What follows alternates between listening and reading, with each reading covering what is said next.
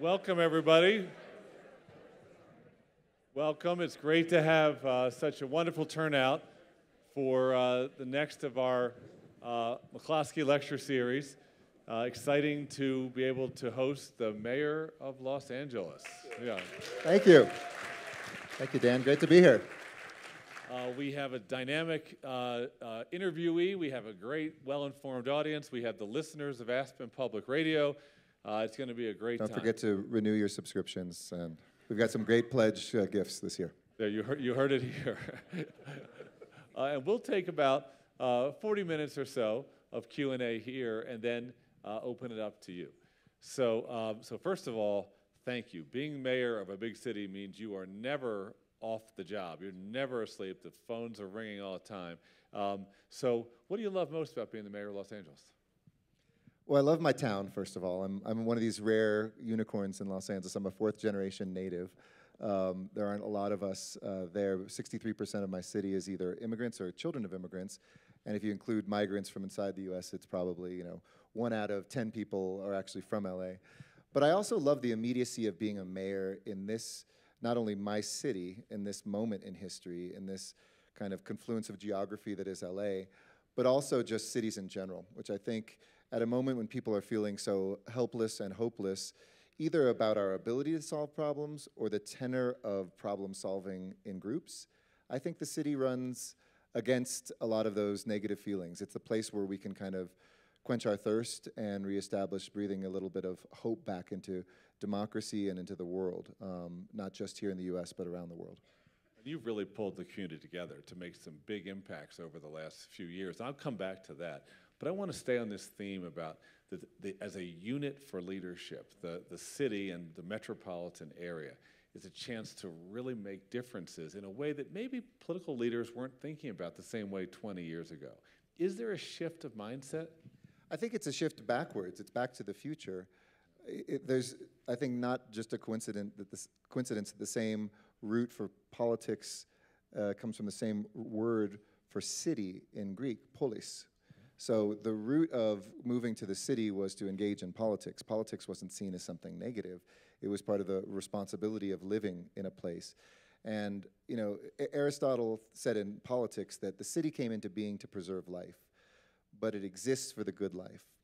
In other words, we came to cities to be safe, but that's not the end goal. The end goal was to find and define what the good life means to each one of us. And so I think it's going back to that moment. When you think about it, the city is the only organic political entity. States are the accidents of history and war. Uh, states, American states within our country are kind of arbitrary historical borders. But a city is a place you come to and you either stay or move to, move from. So it's the only kind of organic unit of politics. And so I don't think it's moving to something radically new. It's kind of returning to what was. So interesting. Um, do, do you, as a mayor, work with other mayors in the US and uh, globally? There's an astounding fellowship of mayors um, globally and uh, within the United States. Uh, there's the US Conference of Mayors, which I participate in. I chair a number of groups, uh, climate mayors, which are the mayors, uh, bipartisan group of mayors around the country uh, taking action to address climate change. I'm vice chair of something called the C40 that Mike Bloomberg started, which is a global environmental uh, group. Um, City Lab is a gathering that I usually participate in of mayors. And even on the private side, you know, I just texted a couple mayors after I landed uh, here. When there's something going down in a city, a fire, uh, we reach out to each other, something bad happens, something good happens. It becomes a group of folks that really are, you know, a, a, a confederation of folks that you can reach out to and say, what did you do in this situation? You can look up and have mentors. You can mentor folks that are coming up uh, who are younger in their service. And it's a really remarkable uh, thing that I wish American people knew more about. One quick story, in Boston two weeks ago at the US Conference of Mayors, I hosted a dinner for maybe about 25 mayors. Uh, Cincinnati, Miami, um, you know, all around the country. And a couple of the mayors were talking all night uh, about immigration, about climate change, and they're on the same page on those things. And at the end of the dinner, one of them asked the other, by the way, what party are you? Yeah. And the Democrat from Cincinnati, I think, didn't know that the Republican from uh, Miami was that, and vice versa. And it showed you that there still is a space and a place to actually address problems together and not start with, tell me who you are in terms of your affiliation before I get to know who you are as a person.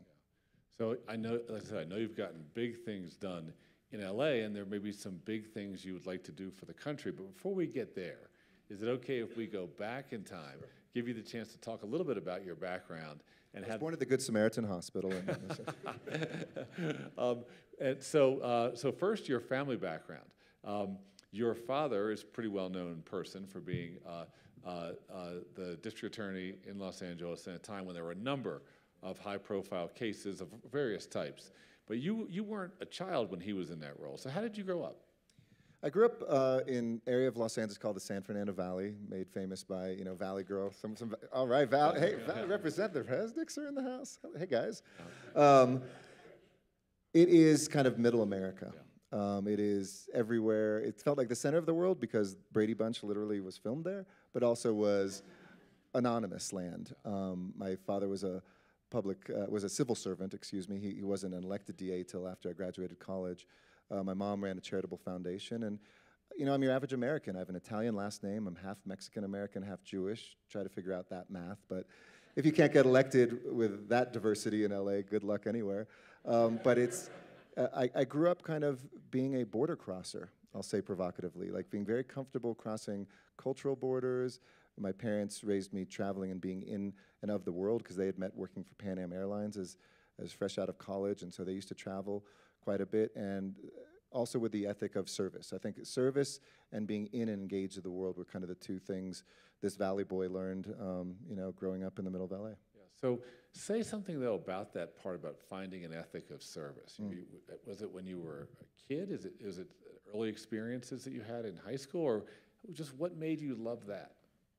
I don't know. I guess kids are pliable. You can tell them you got to do anything, and it just becomes part of their DNA. But I never felt like I had I, I found it. I think it's always been there. There was an expectation of giving back. Um, the stories in my family, my grandfather on my dad's side, who came from Mexico and uh, as a one-year-old baby, as a refugee from war, and becoming a citizen by serving in World War II as a volunteer. Because he wasn't a citizen, he didn't have to, but he volunteered for the country.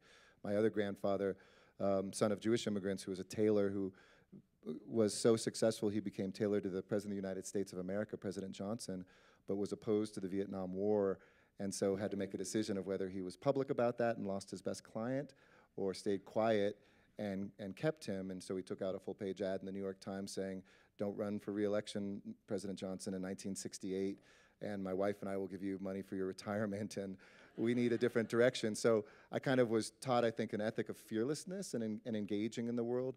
And I think you can't also not know your own family stories, all of us in here, and not know some hardship that, that our families have faced. So when I am so active on the issue of immigration, it's also very selfish because I see my grandfather at that border being ripped out of his mother's arms uh, were he to have crossed this past month rather than the opportunities he had.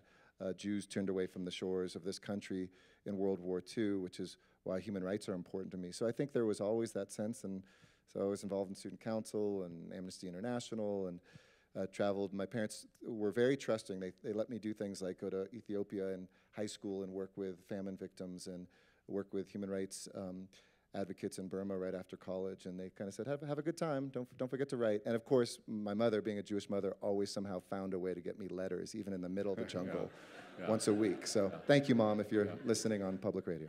So it, it developed organically. Yes. Um, and at the same time, you're also developed in other ways. Like, you, you, like you're a musician. You love music, you love culture. So how did that develop?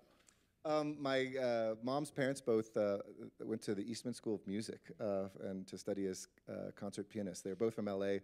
Didn't know each other before, but went there. Um, so I grew up with music always around. My mom played. I thought that's what I wanted to do professionally. Um, in college, I was a composer of something called The Varsity Show, an original musical that's been done since Rodgers and Hammerstein and Hart. The only time the three of them wrote together was actually this show. And uh, my co-collaborator was a guy named Brian Yorkey, who is the author of Next to Normal and the TV series 13 Reasons Why now. Um, and a brilliant uh, guy who started winning awards once he got rid of me as his composer. But I, I, I, have a piano in my office. I have two pianos at home. Um, we're teaching our daughter to play. It's just a very important part of yeah. life for me. Yeah. So, favorite jazz artist? Keith Jarrett is kind of my god. Uh, he's the one who uh, um, I love to sit down and improvise. And, and anybody who's ever heard Keith Jarrett, how he changed things. But going back, this is a weird answer, but Charles Mingus, who's known only as a bassist, was doing some of that stuff even before Jarrett uh, on- solo piano. So I love Mingus, an LA um, mutt like myself who uh, came from all sorts of cultural background.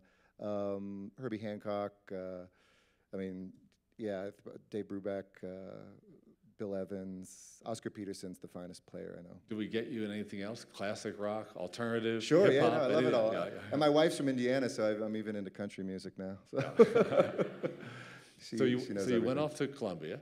Um, So crossing the continent uh, on your own in New York City. Um, and, and what did you major in? Uh, political science. Yeah. I know everybody thinks you never use your degree in political science. I'm actually using my degree in political science. So, so kids, study political science. One of the cool things I love about Eric is that uh, he's one of a relatively few number of politicians I know, elected officers, who did not go to law school, but instead uh, followed this intellectual trajectory that way. And maybe a little more about that in a moment. So you went to Columbia. Um, in one or two sentences, highlight of your college experience? Um, being active in New York in the late 80s, early 90s, in the tail end of the crack epidemic. I know that's not usually what you say for highlights, but the work in Harlem, I, a dear friend of mine, Ben Jealous, who later uh, headed up the NAACP and now is a Democratic nominee for governor in Maryland, and I started a Harlem restoration project to go into these burnt out crack dens and with uh, neighbors in Harlem start rebuilding them as um, places that people could live. And I, I loved the university, but I loved going out into the city and learning even more from um, the interaction with human beings. And it's probably the most important seed for the politics that I practice now of recognizing theories are really important to know, policies are absolutely critical to shaping our lives, but it's human interactions that should drive 100% of the foundation of our politics. And I can't help but ask, did you ever have an ambivalent feeling about Columbia's role in Harlem? Was, you know, was that complex? No, that, that was, you know, before I'd gotten there. I think we were at a, a much better time, though. Yeah, there was some stuff. I mean, we protested some, uh, you know, Ben and I uh, uh, protested with a group of, of student activists the ending of full need financial aid and some other things that were going to hit students of color heavily. There was the uh, Audubon Ballroom where Malcolm X had been assassinated. That uh, Ben actually, a year after I left, got kicked out of Columbia for uh, some sort of sit-in because they were going to convert it to a biotech research facility.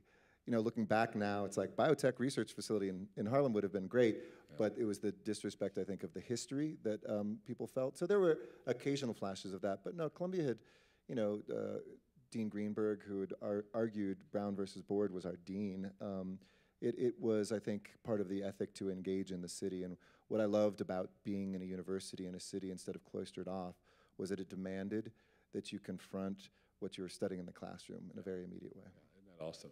And of course, colleges and universities are anchor institutions. They'll be there forever. You can build a lot around them.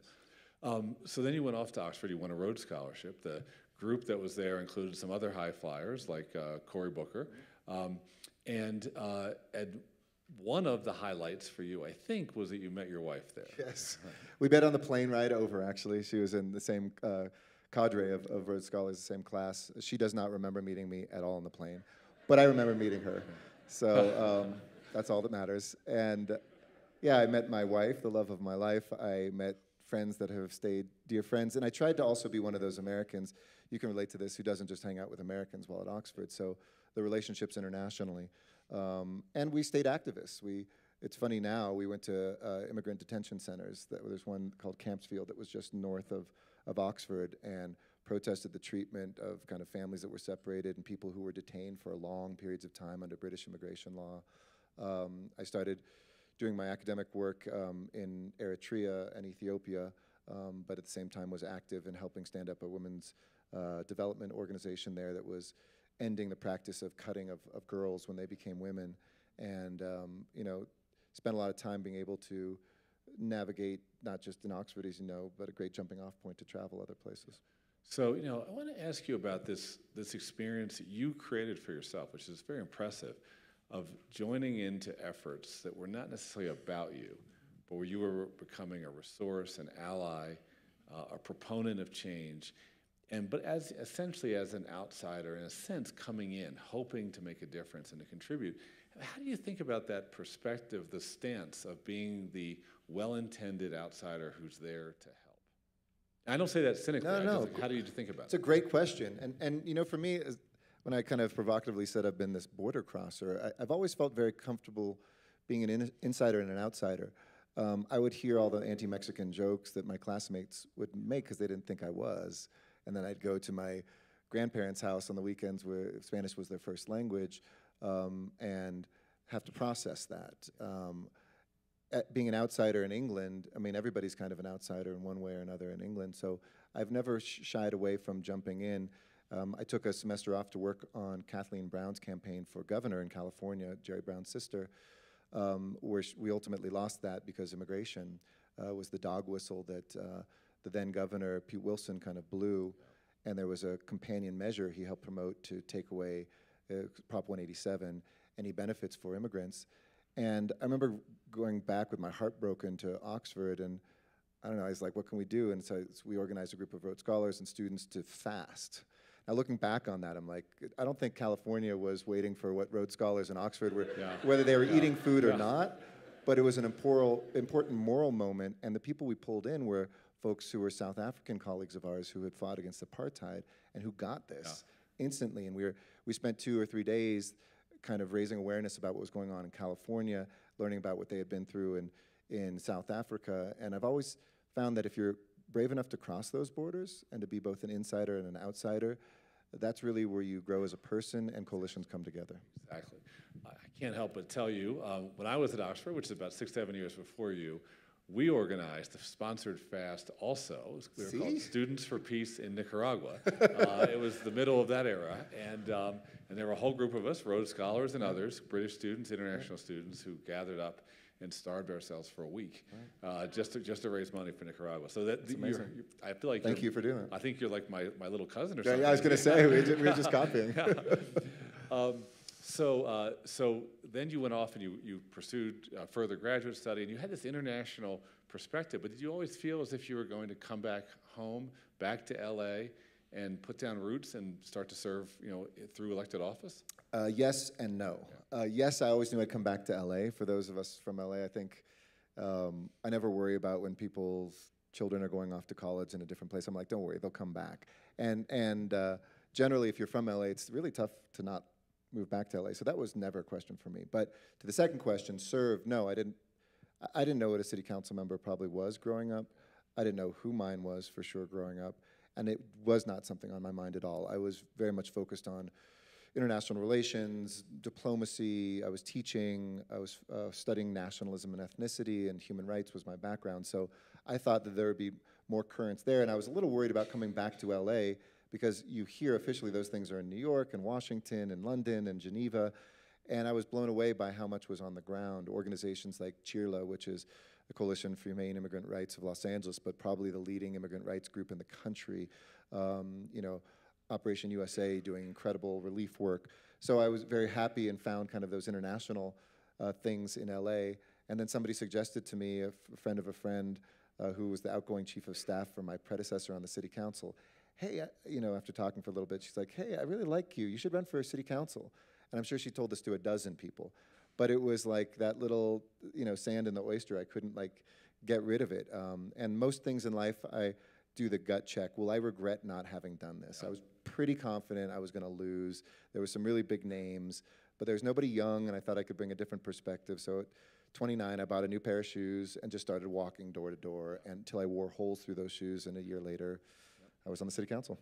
What did Amy think about all this? Amy and my father, interestingly enough, um, both have never given me advice about whether I should run for office. My wife and my father, they're like, you have to own that. It's a, a very wise thing they do. Like, you make the decision, we'll support you, but we're never going to tell you to do something or to not do something.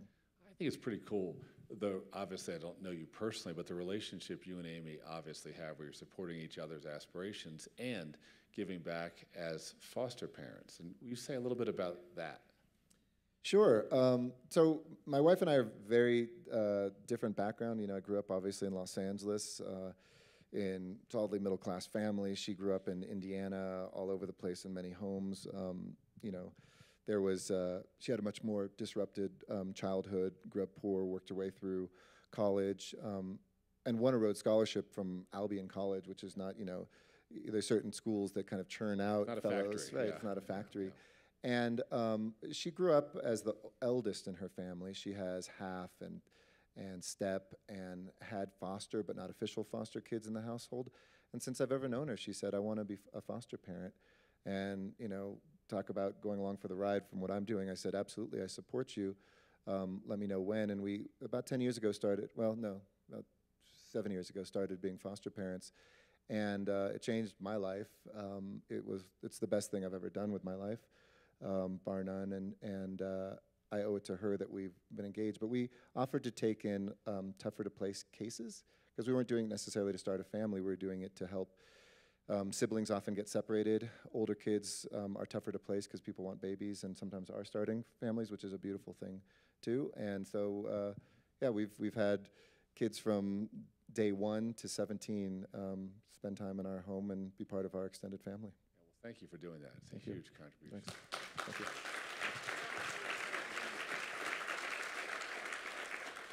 So, um, so you've you won election of the mayor in 2013, re-elected in 2017, but those aren't your accomplishments. The accomplishments are the work that you've been a part of. And what what are two or three of the top things so far that you're most proud of? I think uh, two, I would just say, is kind of economic opportunity, and the other one is infrastructure. And uh, also, that's the last time you'll hear, hear me say infrastructure. I won't say infrastructure again. Okay, there, that was it. So, building things, because we have a country that needs things built, and cities rely, their commerce and their success relies on, on building things from your airport to your port, like the city of Los Angeles, together with the city of Long Beach. 40% of all the goods that come into America by sea come through our ports. Um, our airport, um, public transportation, um, housing, those things are really critical. And I think in, in just five years, LA is the undisputed infrastructure, said again, building, uh, uh, public building things, uh, place capital of the country. All right, it's the infrastructure capital of America. I take back what I said. Can't trust politicians. They make promises and then they break them right away. Um, but we have a $120 billion program over the next 40 years on public transportation in the car and traffic capital of America, something that we won't feel the benefit of till long after I'm out of office, but will fundamentally change what the city is like. Um, on the economic opportunity side, I'm very proud that we raised the minimum wage, made community college free. We've realized a lot of things Democrats are talking about, and Republicans, quite frankly, are talking about too. We said, do it. You know, when Brandeis said that states are the laboratories of democracy, I think that shifted to cities now, because states politics mirror kind of national ones now. They're very hyper partisan. But the local level, uh, you know, we're, we're finding jobs for people coming out of prison. We're working with kids coming out of foster care, veterans coming home from war. And the biggest challenge for our economic opportunity in Los Angeles, because of our economic success and not building out the infrastructure of housing, is our housing crisis and our homelessness. So uh, we put the two largest measures in American history on the ballot, back to back, successfully passed them. That money's just starting to flow. And I think LA can show a pathway to ending, not just addressing or lessening, but ending street homelessness in a big American city. Um, so those are the, you know, we've won the Olympics, we've got two new football teams, LeBron James is coming, sorry to Cleveland. sorry, sorry, Cleveland, but you've been in the playoffs recently, we haven't. Um, but, you know, those are the things I think I'm proudest of. yeah, now say something about the work with community colleges. So community colleges are amazing. I mean, uh, uh, let me personalize it. Uh, our foster son Tommy, uh, who's now 25, he moved in. He and his brother with us when they were 15 and 17. Um, he got through college, which statistically most foster youth don't. Uh, sorry, he got through high school, which statistically most foster youth don't. But um, was never the top of his class in anything. And you know, was drifting around, working in some restaurants. And I said, you know, Tommy, there's an amazing program at what's called Los Angeles Trade Tech College in culinary arts. It's better actually than the Cordon Bleu School in Los Angeles, and it's free.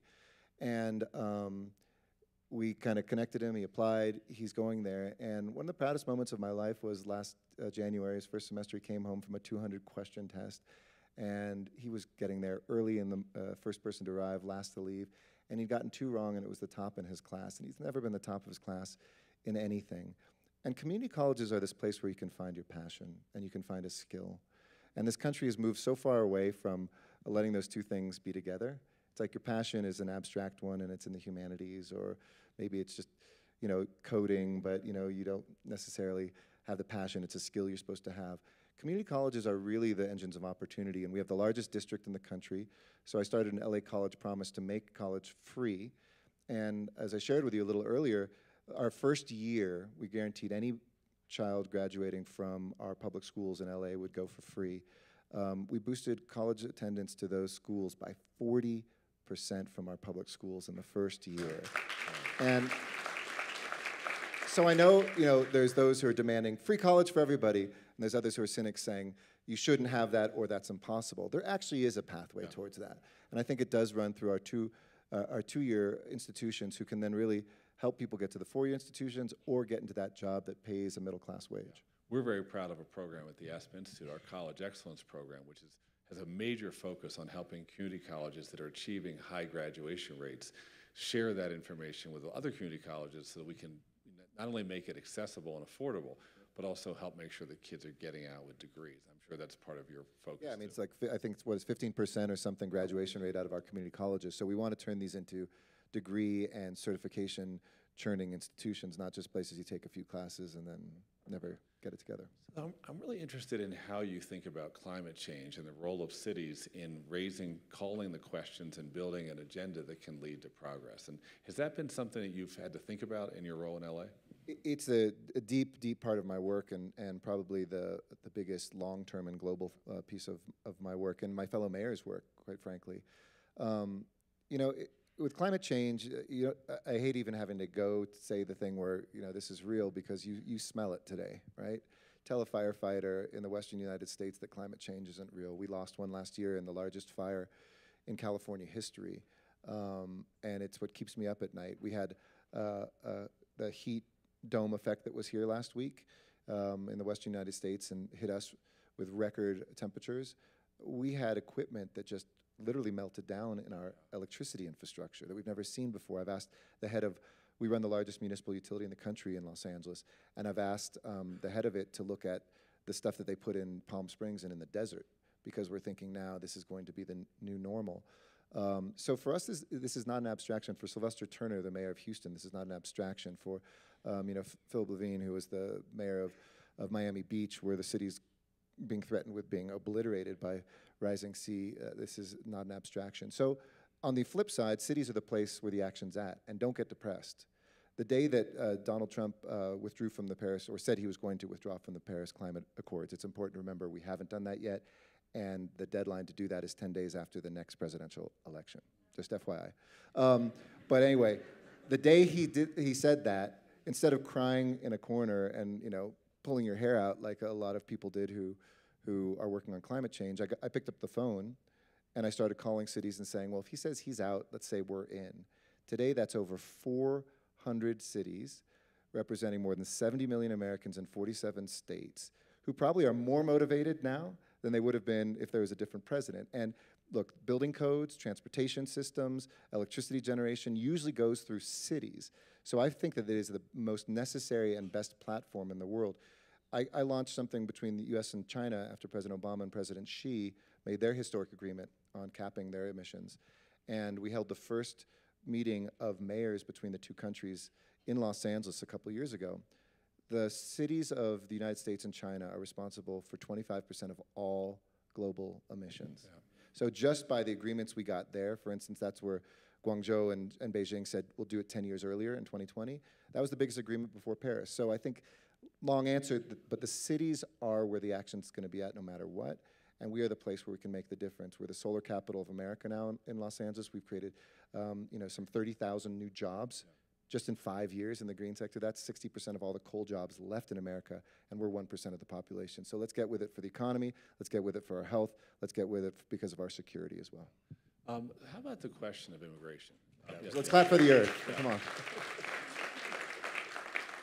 How about the question of immigration?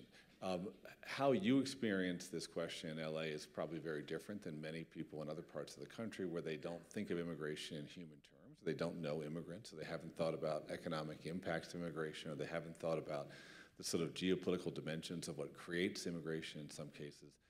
But you really lived it. Both your, both your grandparents uh, are immigrants. And how should we as a country try to open a, a new dialogue about this topic?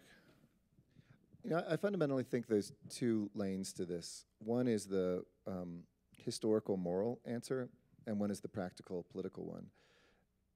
It's a little bit back to the future. Let's just remember who we are. Uh, the color may be sometimes different, um, but the history of this nation, unless you're native, is of immigration. Um, it might have been your ancestors came unwillingly in chains. It might have been that they came fleeing religious persecution, but it's, it's just so fundamentally who we are. It's, it's part of our president's family history. It's part of each one of us. And we need to tell our stories because I think we are dehumanizing who immigrants are. I mean, the, the best thing that came out of the tragedy at the border of separated kids is it rehumanized who they are. It made people who weren't thinking about this as human beings, who are listening to the dehumanizing words being used by our president of the invasion and you know animals and stuff like that. That these are children. Like, can we be human beings first and feel our hearts? Um, and just to know that that's been a part of our history. On the practical side, I like to flip the script a lot because I think a lot of people from the outside who feel threatened about other things, you know, their job doesn't pay what it used to, they wonder if their kids can go to college, um, you know, they are looking at their health care bills and are worried. They're stressed. Uh, it's a very exciting time to live through, but a very anxious time. I've come up with a new term I call it anxitement, yeah. where we kind of feel anxiety and excitement all at once. But the anxiety part of it, if somebody says, oh, blame them, the script is, oh, there's a bunch of caring people who are saying, yeah, that's our history and we should right. do this because it's right, but I got real problems and nobody's talking about my problems. I like to flip the script by saying, look, if, are you worried about crime on the streets because our president keeps, he has a fetish for MS 13? We know MS-13. It started in LA. The best force for defeating MS-13 has been the Los Angeles Police Department. We've cut gang crime in half, but we've also done it by investing in young people so they don't become MS-13 members. You know, it's not just a suppression um, approach. And, you know, I'll never stop listening to police officers over politicians when they want to turn uh, police forces into immigration enforcers. Um, I'll never stop being a pro-family politician and say families shouldn't be separated. I'll never stop being a pro-business elected official because 61% of all of the, you know, uh, businesses on my main streets are started by immigrants. So I want economic prosperity, I want family unity, I want safe streets, and that runs through policies that look nothing like what's coming out of the White House and Congress right now.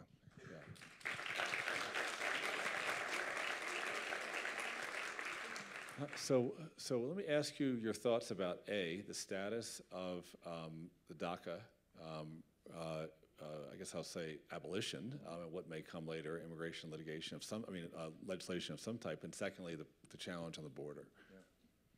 Well, you know, I went down with 18 mayors to the border. Um, it was a very moving experience for me because it's uh, we are in El Paso, just next door to El Paso, and that's where my grandfather did cross over the border, as I alluded to, in his mother's arms as a one-year-old baby when I think she was 17.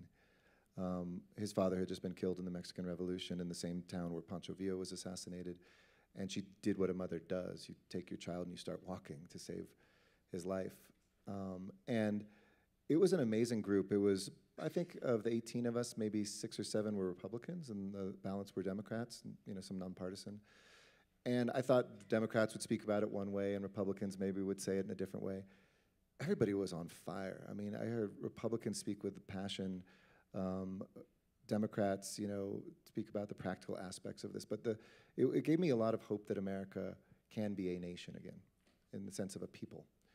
And when we talked about what needed to be done with family reunification, we said, secondarily, you need to live up to your own word when it comes to the dreamers. We're not asking you to do something for us or on our side in exchange for something else. Don't throw a wall as a negotiating chip on your own word. When you said, when you campaigned, Mr. President, the Dreamers have nothing to worry about, prove it.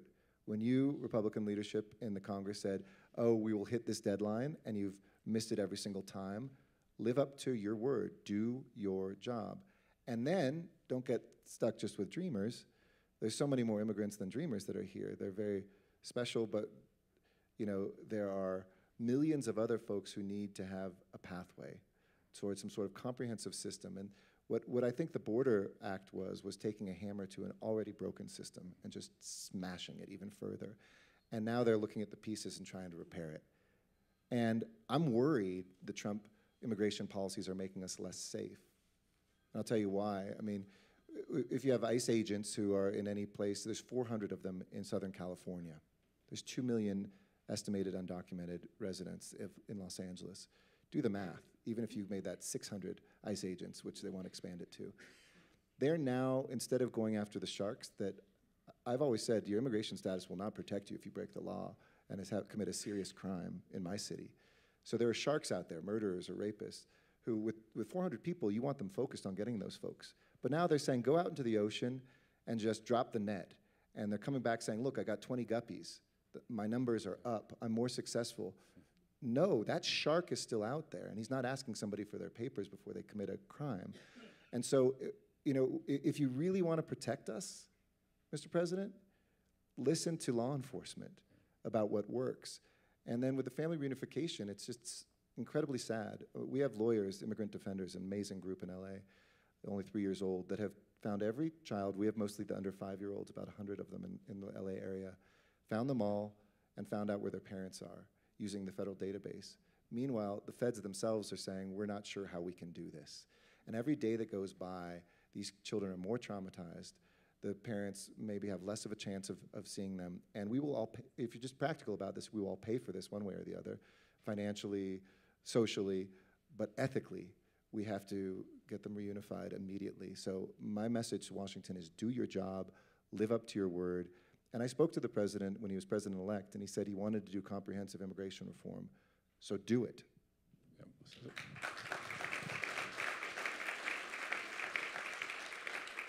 So lots of people are starting to talk to you about the possibility that you might run for another office. Um, You've got a wonderful mayor in Aspen, so um, so uh, I'm not going to ask you to deny the rumors or to confirm the rumors of what you might do, but um, can you imagine yourself at some other point, whether sooner or later, Can you imagine yourself talking to the American people as a whole about um, what you would like to do as a leader of our country, domestically and as, and as a leader of the country on a global stage? Now uh, or later, at some yes, point? No, no I, I can imagine it because I think it's what this moment demands, just even as a mayor of the second largest city in America. It's what I, my, my first responsibility is to my city, and I wake up every day thinking about it. But every day, I realize more and more of my city's fate is in the hands of what happens in the nation. Um, we have a mental health crisis that's led to addiction and homelessness on the streets of all the communities of this nation, and nobody's providing real leadership in DC. Um, immigration, international trade isn't an abstraction for us. We're recalculating the steel costs and slowing down the jobs for middle class tradesmen and women who would be building rail lines in my city because there doesn't seem to be any logical plan to the trade wars that are going on um, that have been launched by our, our president. Um, it is, it's, it's very easy for me because I think it's part of what my job is today. And I haven't been coy. i am thinking about whether or not what to do in 2020, though I'm pretty preoccupied with my city in 2018 elections. Remember, there are elections now. Donald Trump's not on the ballot, but a Congress that enables him is, and you can make a difference right now, regardless of party, of trying to restore an America in this election. Um, but I've always been a big believer if you can bring something different, like that first city council race, to a race, don't think through who else is in it, don't think through the odds, like think through what you bring. If you have a purity of intention, win or lose, um, that's the right thing to yeah. do. So uh, NATO meetings are occurring. Yep. Are you at all concerned about the president's posture in relation to NATO, Europe, and Russia? Yeah, it seems like um, you know Donald Trump has done what uh, Stalin, Khrushchev, Andropov, uh, and the rest of the Soviet presidents never could do, which is to make Russia the most powerful nation on the face of the earth, destroy our own alliance, um, and uh, he is. It's kind of like keep your you know enemies close and your friends completely uninformed or divided. Um, there is no logic to what I'm seeing, and it's as somebody who served in the Navy for 12 and a half years, as an intelligence officer, as somebody who recognizes how fragile this world is, that we take these things for granted, our trade system, our uh, alliances, uh, NATO, um, this stuff can be shattered. And if America doesn't stand for anything, you don't always have to agree with America, but at least people knew we stood for something. Yeah. If you don't stand for anything, look at history. If it wasn't for a nuclear deterrent, I'd be very worried. I think that's, in its own weird way, something that can hel- help keep peace. But short of that, in a pre-nuclear era, that has always led to war. Yeah. You were in the second class of Rodel Fellows, which is the Aspen Institute's program to identify super talented Democrat and Republican and independent office holders at the state and local level. Bring them together, help them bond with one another, um, and introduce them to some of the key questions that transcend party and, sort of public life. Um, it's probably been a you know, important early experience for you. Do you think you could, based in Washington and whatever role you might be in, do you think you could really work across the aisle? So I'm not naive. I was asked that question uh, by a reporter once. Oh, like, you know, do you think just because you're able to work well in Los Angeles, where you can reduce the city's business tax and raise the minimum wage and bring Republicans and Democrats and independents together, you think you could really do that in D.C.? No, I don't think that that's going to happen overnight. But I don't want to see it get worse. And I do think we can we can push it back. I don't think it'll be the era of the 1980s of Reagan and Tip O'Neill sitting down and cutting deals. Um, but I do think we what other option do we have right now but to surrender to hyperpartisanship and a, and a country that will literally be torn apart? Um, mayors give me a lot of hope. I've always had this fantasy, like imagine if the mayors did take over Washington D.C., Congress, and and um, the White House. We, uh, you know, have folks who, uh, similar to the story I told you before, I, I convened the Rodel Fellows, who were all local elected officials in, in Los Angeles um, with Mickey Edwards, I think last year, year and a half ago. So these were either county supervisors, city council members, mayors. Um, and we had our little session, uh, which was our private session, no staff, no press, not betraying any confidences to, to tell you. It was funny, we went around saying, what's going on with this country? It was in the midst, I think the election had just occurred and people were confused. And Democrats were like, yeah, you know, all these great regulations that we passed, now as mayors, like each one of these stones was well intentioned, but like I have such a heavy backpack just to build something in my town takes so long. Like, wouldn't it be great if we as Democrats like started slashing red tape and deregulating, not like the stuff that keeps your air and your water clean, but you know all this well-intentioned but bad stuff that slows down the economy. And then there's another uh, Republican uh, mayor who said, "I've been elected in my town. I think it was seven times." And, uh, and he said, I've raised taxes every single term, and I've never had a serious challenge. They love me in my town because they know I'm investing it in things that we know. And it hit me like, imagine if America could have heard that. Like, here's a Republican saying, I love raising taxes because I actually spend it on real things, and my people love me raising taxes, and they trust me. They may not love it, but they trust me. And the Democrats saying, hey, let's deregulate and slash things and get that kind of American engine moving more quickly. Um, I do think Washington needs a dose of that. I think that we can get that back. But it's not up to us, it's up to everyone here and in local communities around the country to rise up and say that. Thank you. Perfect moment to turn to the audience and ask if some of you would like to ask uh, questions of Mayor Garcetti. Right here. Yes. We have mic microphone runners on coming down. both sides. Hi, Aye. Joni Benson from Austin, Texas. We are the fastest growing city in the country, and by far the majority of the people moving there are from California, half of them from LA area. Does that not concern you? No, first of all, Steve Adler, you got a hell of a mayor. I love Steve. He's a great, great guy, and I love Austin. And you know, keep it weird. We got weirdos who need places to move, so you know they go to Austin. But L- LA's a weird place um, in the sense that when I was growing up, you know, people used to always rag on LA. I'd go down to San Diego, they'd be like, "Oh, smell A, you're so smoggy," and San Francisco would look down on us like we weren't even a city. New York was like, "Oh yeah, you guys are just Hollywood," and we'd always like, "That's cool." Like you know, you don't have to come. Like we knew we had something very special, and I, I ne- never think we had a chip on our, our shoulder. What does worry me, I'll say this, is that California in general. California is a very interesting state for America. Um, Frank Luntz, the pollster, the Republican pollster, was telling me, you know, in all the polling he's done, he said there's the American dream and there's the California dream. And he said people have dreams in all states, but there's no other place you don't have the Missouri dream. You don't talk about the Texas dream. It's not part of the lexicon in the same way. He said California has always represented this hyper American place where you could go and find opportunity, where everybody belongs, where you get a good job, good public education, and cheap housing. I am worried that we're losing cheap housing and that we will make or break as a state if we don't build out the infrastructure of enough housing to accommodate who's there. So yeah, we could easily, we're seeing more out migration, uh, more birth and in migration is, uh, is still causing us to have growth.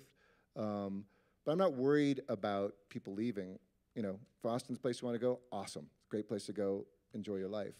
But if you are looking at the success not just of California but other places, if we don't get past our own inability to build, and this isn't just around housing, this is about infrastructure in the country, this is about high speed rail, this is about um, our airports, this is about our energy grid, we will see those dreams begin to retract. And I think California will be less of a beacon. And I don't want California to turn into what we see in a lot of global cities where it's a barbell economy.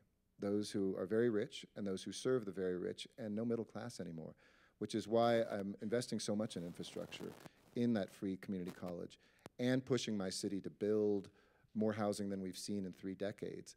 And it's tough because today it still feels like the rents are way too high, and they are. And I talked to a guy who works in the film industry who said his dad in San Fernando Valley, grandfather, bought his house for $5,000. His dad bought it for $50,000. He bought his first home for 500,000, but he said if it's five million by the time my daughter looks for a house, she's not living here. She'll be in Austin or someplace else.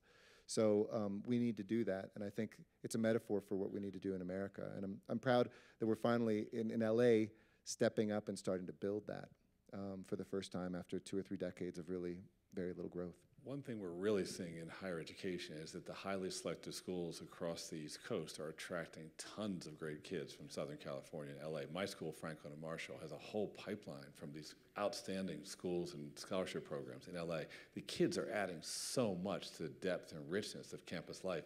And I'm not sure we're going to keep any of them mm-hmm. from that long, but it's really making the schools stronger. I really thank you for that. Yeah, um, next question. So let, us let's, let's set a let's set a goal for ourselves that we're going to ask lots of questions. So short question and, short answers. And short answers. Your question should begin Austin, with Austin. go for it. Yeah. What? Awesome. What? Who? When? Why? Uh, and then you answer fast and see if we can get about ten or twelve done. Lightning round. So just to help us out, I'm going to go all the way to the back, straight ahead with you, right there, with the glasses. Yes. Two hands with Turns glasses. Turns out we have, yeah, we have so we'll start with that one, which I think is John, and then we'll go to you. Yeah. Well, for our radio viewers, yeah. try, try, to use Okay, I'll try it again. Turn it on. Okay. With your background in bipartisanship, what would you do to be more effective in reaching across the aisle and doing more with the with Great, so, so in Los Angeles, we we're, we're doing that. I don't, I don't know if you mean at a different level, but in Los Angeles, we are. We had Republicans who stood with us for um, raising the minimum wage. We sat down and listened on infrastructure and came together and brought a bipartisan. The, the most conservative member of our county board of supervisors was kind of my co-chair of this campaign to pass Measure M, that measure that I mentioned, which is the largest in the nation's history for infrastructure times two. Um, and in California, if you're not familiar, you need a two-thirds vote to pass a tax. So you have to have Republicans inherently in there to pass the two homeless measures. We sat down and brought, you know, our Chamber of Commerce, who really led a lot of this uh, work together with us. Um, it's not tough. I think most things we all want to tackle together. Um, we want to tackle those main things of building a middle class, of building out infrastructure, of having a prosperous economy, of reducing regulation, of cutting taxes where we can, but boosting wages. Um, I think you have to liberate Republicans to be as liberal as they are in some ways, and you have to push Democrats to be as hard nosed and conservative as they need to be when it comes to things like balancing our budget and doing things like pension reform and all of those things that are part of a city's prosperity. And then there's moments where you can come together. I think we need more common enterprises, and one of those things was going after the Olympics. I mean, we're bringing the Olympics in 2028 for the third time to Los Angeles, and that was something we're just celebrating our city, celebrating America, and bringing a, a great, great you know, event to our town. So I think it's all of those. Yep. Hi, I'm Juan Pablo from Los Angeles. Hey, Juan Pablo. Um, what are some of the obstacles, but also promises that you're seeing uh, to improve the homeless situation, and specifically implementing the bond measure? That, yeah. So we, the two different measures we passed, one was to build 10,000 units of housing for those who are the most chronically homeless. We have about 25,000 people who are homeless on the streets of LA City, and 10,000, probably a third of them are the most chronically homeless. So this would be to build that over a decade. The second measure was a quarter cent sales tax to provide services in the entire county of Los Angeles to hire the people you need. I've worked with homeless since I was 14 uh, years old in Los Angeles and, and New York and other places. And it really comes down to learning one person's story and winning over their trust so that you can know, you know, what brought them to the street. It's usually a combination of some trauma and high rents. So we need to build out the units of housing to bring the rents down, and we need to make sure that we understand that trauma, whether it's sexual and domestic violence, 91% of women who are on the streets have experienced one and or the other, um, war, PTSD, and our veterans, et cetera. But the biggest impediment is, is usually, it's not a big one because I think it's dying off, but it can be very vocal and very visible because the press latches onto it, is once now we are in the process of building what hope, we hope this year will be 15 or 16 temporary housing, two to three year bridge housing places where people can go, have a bed, services, get off the street and out of their tents. Is certain communities are saying, no way, not here. I don't think that's a majority voice, but all you have to be is even 10% of a community, and that's a very loud voice, and you're more likely to turn out for the protest of that than the support. But, um, you know, I'm telling people very bluntly, where do you want them to go to the bathroom then? On the streets like they are today? Do you want them overdosing in front of your business, in front of your home? Look, at this is a mother and a child living in a van. So I think you, you have to bring the morality to it and the practicality of it always. Um, and I'm, I'm pretty optimistic that in Los Angeles we had our first dip for the first time in nine years after it's gone up, and this is just as the money's starting to flow. I think once people see a building, it becomes something different. Is this an example of something that can be a bipartisan effort, or is it really just yours? No, absolutely, it should be. Uh, in Los Angeles, it is, but nationwide, it should be. Because I think it's something that links rural communities. It might not be homelessness in the rural community, because there's still a place where people can go, but drug addiction is drug addiction. I mean, if there are 10 of us who broke our legs and we went to the emergency room, we'd all get treatment. If 10 of us are, ad- are addicted to heroin, uh, maybe one out of 10 of us is going to get medical uh, treatment in this country right now. And that's an outrage. I think that is something that could bring us together. We're, we're in the lightning round. Front row right here. Here comes the mic for our radio audience. Hi, I'm, I'm Harris Sherman from Denver. I might add, all three of my daughters, who were raised in Colorado, live in Los Angeles today. Good, good. Have they heard about Austin? No, no, no interest in Austin. Uh, I wonder if you could just talk a little bit about the issue of density versus sprawl in terms of the future of cities. When you think about climate change, infrastructure, water scarcity, air pollution, so forth.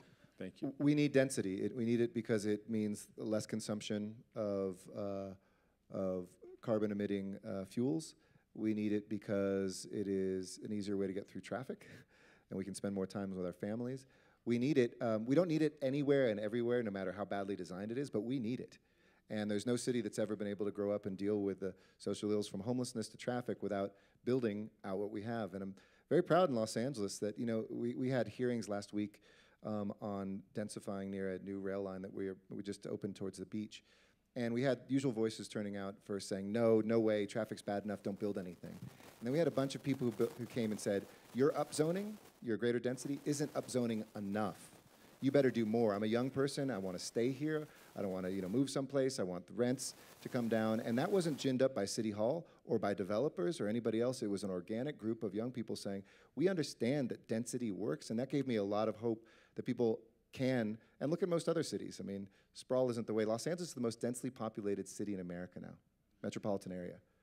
New York's only fifth. The New York Newark area is fifth. Um, and but it sprawls so far. It's the third largest economy in the world. It's as I said, up to 18 million people. Third largest uh, urban economy in the world. So we better build up, and we better build it where we're making investments along transportation, so we don't displace people. And we need, while we're building it, last thing, we have to make sure we're building affordable housing along with the luxury stuff, because otherwise you just displace people to sprawl further out. They have to get in a polluting car, come in, and the traffic's just as bad as it was. Before I call on the, ne- the next questioner, I want to ask the college students in this audience to come up with a question, because the next question after this one has to be asked by a college student. Okay. Coming around. And I'm looking in the back of the room where my interns are standing, for example. I'm looking in the middle of the room where my daughter is sitting. No pressure, no pressure. I would just like to get your take, your opinion, as well as your opinion of how good it is, as well as your opinion and whether uh, there's any legs to it on the three-state solution. a three-state solution in California. Uh, There's also been the one-state solution of like Cal exit of you know leaving the United States of America. I don't like e- either one of them. Um, I love my state and I love my nation, um, and I think that. Uh, there is a beauty in what the state is right now. I think we can solve these problems together. And in fact, we have much more that links us. Uh, the Republican mayor of Fresno, which is in the Central Valley of Los Angeles, um, and, and I and 10 other mayors came together to get the state to step up on homelessness because it's as important to him in an inland, Republican led, Northern California city or central city as it is to a coastal Southern California. And I think we, I love that there's innovation in um, Silicon Valley, and I hope they love what we're doing in Southern California. Um, so I really want to see one state. I don't. I think it's uh, it's kind of a random solution, and and I would never advocate for California leaving the United States of America. I think we need to just ship more Californians to more places because in those close elections, if we just had 10,000 more Californians in Wisconsin or Texas, maybe we'd we'd flip them. So I think the question's coming from the back, and I'm- the, the lights are bright, but I believe this is a recent graduate of Columbia University. Awesome. How you doing? What's your name? Hi, uh, my name is Ewoma Agbado. In Ewoma Agbado in May, just graduated from your alma mater, Columbia Awesome. University. Congratulations, man. What'd you major Thank- in? Uh, majored in biology. Um, Never heard of it. As a pre-med student. um, and I remember I came to your, your commencement speech uh, Awesome. when Thank you you. spoke a couple years Thank ago. you. Um, my question is about gentrification. Yeah. And my, I'm wondering, as our country is continuing to develop and big cities like LA or New York City um, continue to expand and more people are, are moving to different places, how do we find that balance between um, maintaining or, or growing as a city and then also um, keeping in mind not displacing uh, minority or low income, uh, low income residents? Thank you. Great, great, great question. Um, you know, I use the, the word displacement more than gentrification because gentrification can mean all sorts of different things to different people. Um, is it the price of coffee or is it the color of the resident? Is it, you know, the income? Uh, is it the rents of the apartments? But you're spot on. I mean, the New York, the Manhattan that you lived in while going to Columbia is radically different than the one that I lived in. And I'm not romanticizing what those crack dens I talked about are like. But there was income diversity, and there was more racial diversity. There were a few people that bought apartments that nobody lived in because they were their third and fourth uh, home. Um, it was a much more vibrant uh, island. Still a beautiful place to visit, um, amazing place to live if you have the means to, but it's lost something. Paris, you know, in the center is, uh, you know, if you're rich enough, you can experience a great uh, time in Paris, but they don't have working class folks that live there. It's, I think, something that is really central to not just those star cities, but other places too, because there's been this wonderful rush back into cities, but the cost of that has been that we are now have more poverty, higher drug uh, um, addiction, um, worse schools in our suburbs increasingly than in our urban cores. And it used to be, remember, the 60s and 70s were all about white flight. It was that the urban core nobody wanted to be in. All that investment that's come back, which is good for those urban cores, can't come at the expense of the people who help bring that back. So in LA, I go back to what I was talking about earlier. We mandated, I chair our metro, or I up until recently chaired our metro system, which is building these 15 rail lines. We mandated 35% of all the housing that has to be built is going to be low income housing. And so as we go denser, that's new housing opportunities. We don't want to just attract great talent from around the country and the world, which LA will always do. We want to grow it up in some of those schools you were talking about, which is why community college being free gets the pathway to the middle class.